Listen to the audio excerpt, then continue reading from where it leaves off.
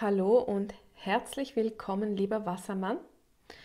Ich bin Tamara und ich mache heute eine intuitive Tarotkartenlegung für diese Woche. Ich möchte schauen, was die Nachricht, die Botschaft ist von der geistigen Welt an dich, was es einfach zu beachten gibt diese Woche. Dann beginne ich auch gleich und bitte die geistige Welt um eine Energie für den Wassermann.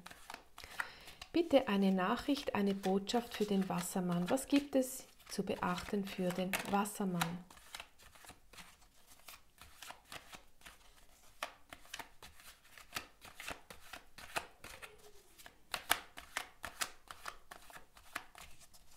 Gerne eine Energie für den Wassermann.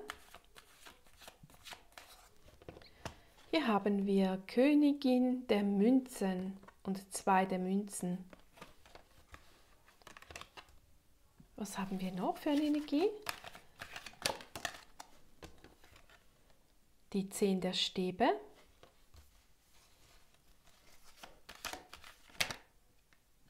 Und der Herrscher.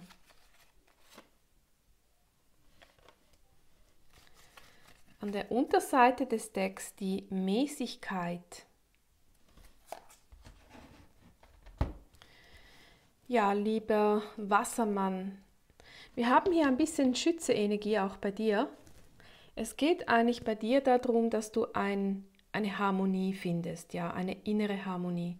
Eigentlich bist du sehr gut unterwegs, du hast eine wunderbare, ähm, leidenschaftliche, geerdete Energie, obwohl du eigentlich ein Luftzeichen bist, aber ähm, es ist wirklich ähm, wichtig für dich, äh, lieber Wassermann, dass du vielleicht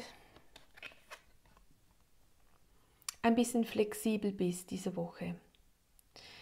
Ähm, sei flexibel, denn wenn du das nicht bist, wirst du ein bisschen zu viel Ballast herumtragen und was, was dir einfach auch nicht gut tut. Hier geht es darum, dass du Verantwortung abgibst dass du den Ball deinem Gegenüber gibst, dass du sagst, ja, mein liebes Gegenüber, auch du hast Verantwortung hier, um unsere Beziehung, unsere zwischendynamischen, also zwischenmenschlichen Dynamik ähm, Fülle hineinzubringen. Ja? Gebe ab die Verantwortung deinem Gegenüber. Die Geschlechter sind ja auch neutral zu halten. Und dann wirst du wirklich auch so einen inneren Frieden spüren, eine innere Ausgeglichenheit, eine innere Balance, die du auch natürlich schon hast, aber hier wirst du wie belohnt. Ja, das ist eine Engelskarte, das ist schon eine wichtige Karte, wo es darum geht, im Frieden zu sein.